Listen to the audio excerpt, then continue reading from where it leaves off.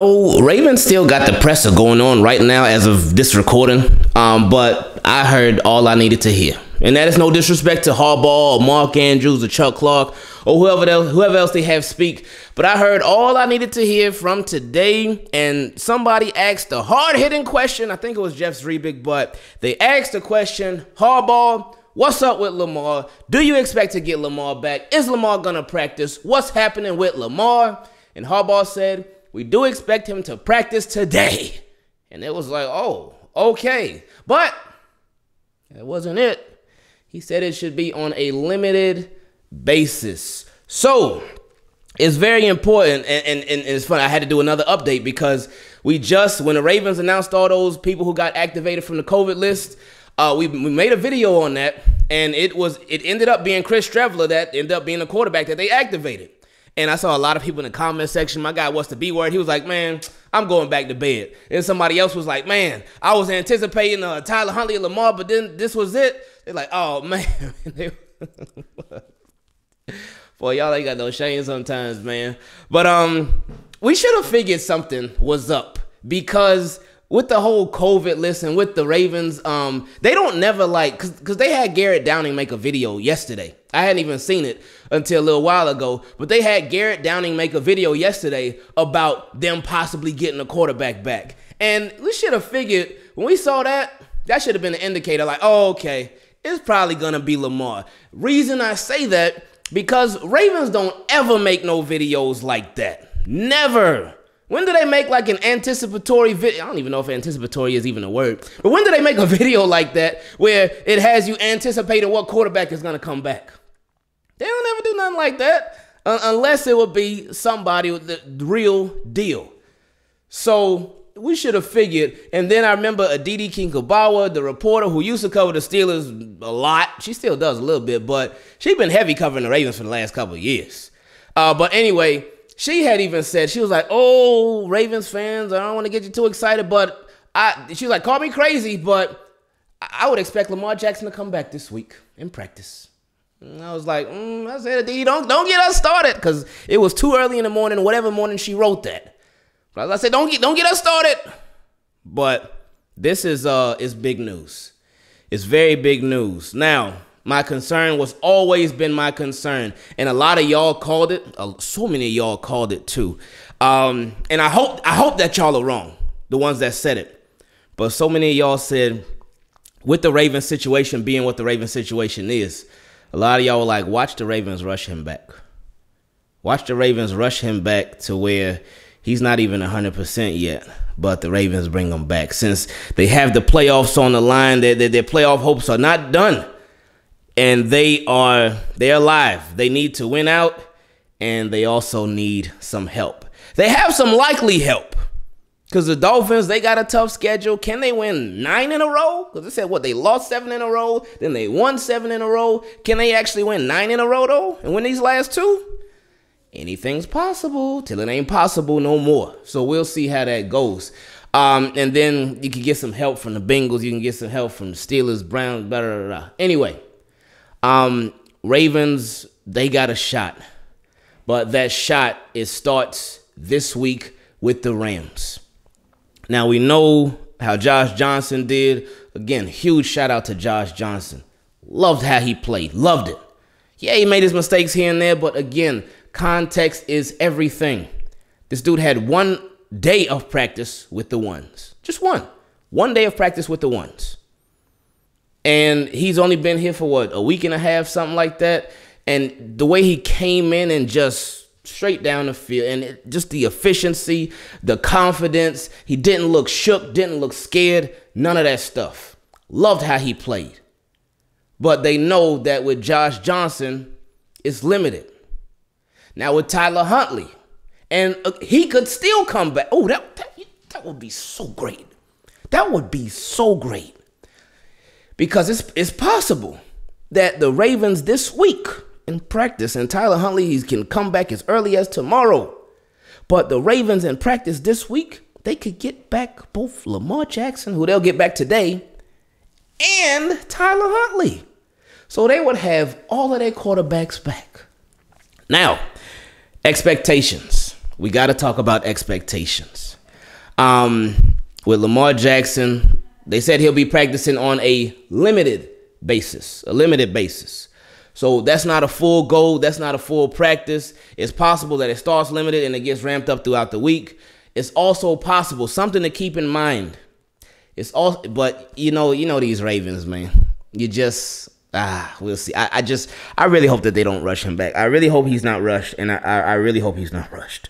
Like I said in the last video, you find out that a lot of your uh, friends, a lot of Ravens fans, friends, that uh, you find out that how how much of medical experts they are when certain players get hurt.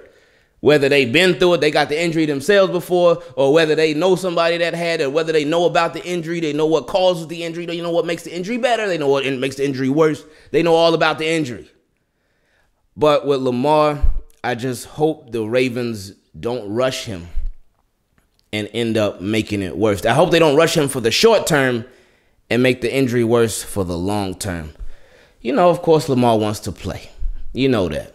But I'm sure that him, his mom's, his agent, uh, I'm sure they they they they know they they understand what the situation is. They already know. I mean, he know he's gonna get paid regardless, but still, gotta be smart. Gotta be smart. Ravens on their end too. Gotta be smart. Gots to. Do not risk your franchise quarterback for a couple of games. And I know the playoffs. I'm not one of those people that's like, oh man, just tank. We're not gonna do anything anyway. Even though, like I said, I understand the people, I understand their reasoning, and a lot of people's reasoning is not even because the Ravens have such a depleted team. Their reasoning is because they want to see some significant changes made, and if the Ravens make the playoffs, then they know those changes will not be made. And even if the Ravens don't make the playoffs, a lot of us know those changes will not be made regardless. But anyway, don't don't ruin your franchise quarterback for a couple of games. We remember RG3 his rookie year, and I hate when people call Lamar RG3 because couldn't be further from the truth. But it's the example of RG3 his rookie year came in lightning, lightning hot, came in striking everything. He was on fire. I think he got rookie of the year too. It's crazy. Him and Andrew Luck, they both yeah, they got drafted at one and two. Wow, that's wild. But anyway, RG3 came in hot. He was making all these plays. I remember watching his first game live against the Saints. And it was like, okay, let's go. Who is this guy? And um, but later on in the season against the Ravens, he got hurt against Lodi Ngata. Lodi Ngata this is a nasty hit that he took, and his leg kind of just did a little parenthesis, and he was out for a little while he was not ready to come back. He was still hurt. But the Redskins at the time, that was their name at the time, before they were the football team, whatever, they, season was on the line. It was playoff time. They said, Oh, RG, come on, baby. Come on back, buddy. Come through, buddy. And he came through, changed the trajectory of his career, changed everything. They rushed him back he wasn't ready to be back yet. He wasn't ready. We've seen examples of it with Cam Newton. I know a lot of people like to call Lamar Cam Newton. Again, couldn't be further from the truth. They're completely different type of quarterbacks. But Cam Newton, we know he hurt, I think, his uh, throwing shoulder, something. I forgot exactly what it was with the Panthers. The Panthers rushed him back. He wasn't ready. He wasn't ready. They rushed him back and they wonder why he wasn't performing so well and why he just looked off. He wasn't ready. You rushed him back. Changed everything. He ended up getting cut, went to the Patriots, and just it y'all know the rest of the story. And now he's he's back with the Panthers. And I was really that's that's what that's why I was so surprised that he went back to the Panthers. Cause I'm like, man, they did him nasty, but he was like, oh, you know what? Let me let me collect this free check from them. It'll be like retroactive pay or something, or retribution or something. Anyway, um, and then you look at now with uh look look at Baker Mayfield. And and even though like I, I just a lot of times they just been hyping up this injury and the, oh if, if he's that injured, don't let him play. Don't let him play. But you see with Baker Mayfield, he got banged up, bruised up, battered up, all that stuff. They brought him back. Probably too early. Probably should have just rolled with Keenum. But they brought him back, and he just he has been looking like a big yikes. But I know a lot of a lot of people will say he looked like a big yikes even when he's healthy. So that's a whole nother conversation. But my point when I say all that stuff is, Don't rush your franchise quarterback back. Don't rush him back. Because the seasons are short. The seasons are very, very short. But these careers, they're long. And you just, I, I don't want them to risk it. So we'll see how he looks today. Uh, we'll of course hear about reports and stuff. Oh, Lamar is walking gingerly. Oh, he's not walking gingerly. Oh, Lamar has tape on his ankle. Oh, he doesn't have tape on his ankle. Oh, Lamar Jackson just put two fingers up. They practice in two point conversions. So we'll see exactly what and hear about exactly how Lamar is looking. But I, I just want to make sure that everybody has realistic expectations for Lamar Jackson. Um, and right now, it's tough to say because you you you want to say like with with him just being back and this injury, he ain't practicing so long. You want to say you wouldn't expect him to play, but at the same time, if he's back and he's practicing, it's I just a scenario where the Ravens actually wouldn't play him. I just don't see it, but I'm it, it does scare me. It really scares me. It scares me for the right here, right now, and it scares me for the future as well. Because you got to think about it. Now, uh, Cause so so much goes into this decision. And you gotta weigh so many different factors. One of those factors, the play calling. We've seen a difference with Tyler Huntley. We've seen a difference with uh, Josh Johnson. We've seen with Giro how he'll call the easiest stuff for him. And there's been times when there had been some easier stuff called for Lamar, but he, he'll miss it sometimes. He won't take it. But there's a lot of times when everybody they like, all right, Lamar, all right, we're gonna send everybody deep. All right, Lamar, make something happen. Make something happen. And then you even see the the formations. You see the personnel. That's one of the biggest things you see that is so frustrating the personnels. Because you see with Josh Johnson, with Tyler Huntley, oh, you you you got Bateman out here. You got Devin Duvernay when he was healthy. You got Proche. You got Hollywood. It's like, oh, okay, let's go. You got Mark Andrews, of course. Oh yeah, let's go. But with Lamar, you'll have Mark Andrews. you'll have Hollywood. And but then you'll have Patrick Ricard, you'll have Eric Tomlinson, you'll have Nick Boyle, and it's like, hold up. And they, they were even flexing Le'Veon Bell out there, and Devonta, and it's like, whoa, wait a minute now. Why don't we have our best weapons out there for Lamar? What the, like, and again, the, the hope the Patrick Ricard at wide receiver thing, that has got to stop. It's got to stop. It ain't nothing against Project Pat. We love Project Pat.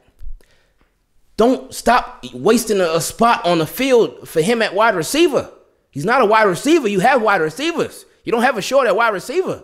Let him be a fullback. And because it's, it's just so crazy how you're seeing the offenses, the the efficiency. And I know some people like, oh well, that's that, that's because Tyler Huntley and uh, Josh Johnson they pocket quarterbacks. That's why you see it like that. It's a lot deeper than that, my friends. And we know Lamar, he he can be a pocket quarterback. He's shown that already.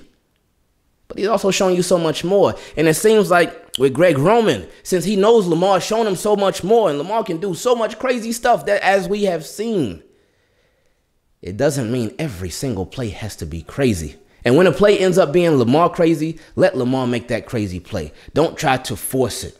QB draws, cut them out. Get rid of them. Eliminate those from the playbook ASAP. ASAP.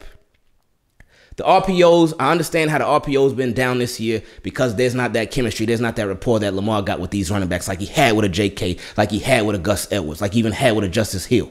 So understand that the RPOs are down. Okay, cool, I get that.